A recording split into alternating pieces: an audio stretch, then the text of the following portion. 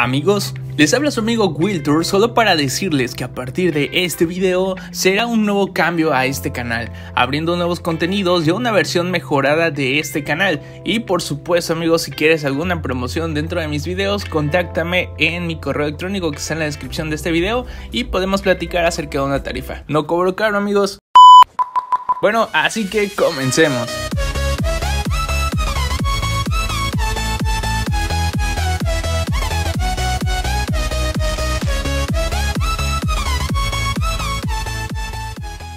Iniciamos la semana con que la serie de Hawkeye eh, que está preparando Disney Plus ya cuenta con una descripción de lo que tratará la serie.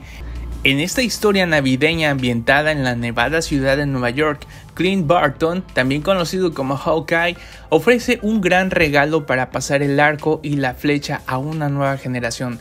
La destinataria Kate Bishop, una joven guerrera que adora al Vengador y pasó años entrenándose para ser como él.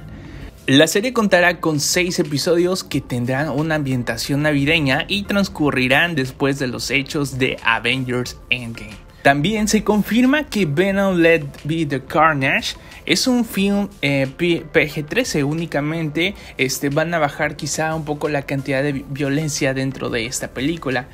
Una noticia inquietante también amigos para los fanáticos del universo de Marvel es que los hermanos Russo, directores de cuatro grandes películas del universo cinematográfico de Marvel, del CUM, se sienten inseguros de cómo la compañía procederá con su próxima película, cómo será distribuida y si cumplirán con los pagos, dando a entender que Disney perdió su credibilidad. Esto lo asegura The Wall Street Journal. Esto puede ser por la conducta de Disney hacia Scarlett Mamacita Johansson.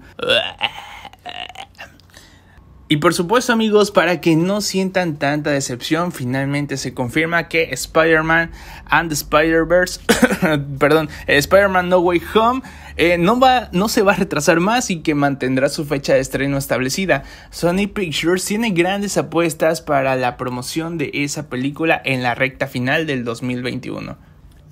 ¿Qué? ¿El COVID? A la mierda el COVID. No importa que se llenen los hospitales, lo que importa es que se llenen las salas de cine y nos pudramos en dinero. Y en otras noticias, en el universo de DC se confirma que el final de temporada de la serie de Supergirl tendrá una duración de dos horas el día martes 9 de noviembre. La actriz Asa Slime, Slimene, perdón amigos, nunca encontré la pronunciación de ese nombre podría estar en negociaciones para interpretar a Satana dentro de una serie.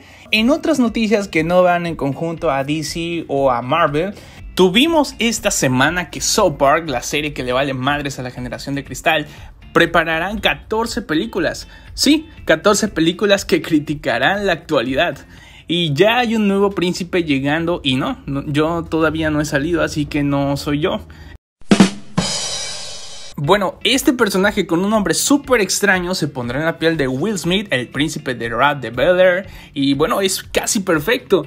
Will Smith eligió al mismo actor que lo interpretará en su antiguo personaje y por supuesto, chequen estas imágenes. El tío Netflix nos confirma que harán un live action del famoso anime One Piece. No podemos esperar mucho ya que Netflix nos ha decepcionado mucho en cuestiones de los live action, pero solo que esperar cómo lo harán. Y esperemos, por favor, por el amor de Dios, que no pongan a Luffy negro o algo así.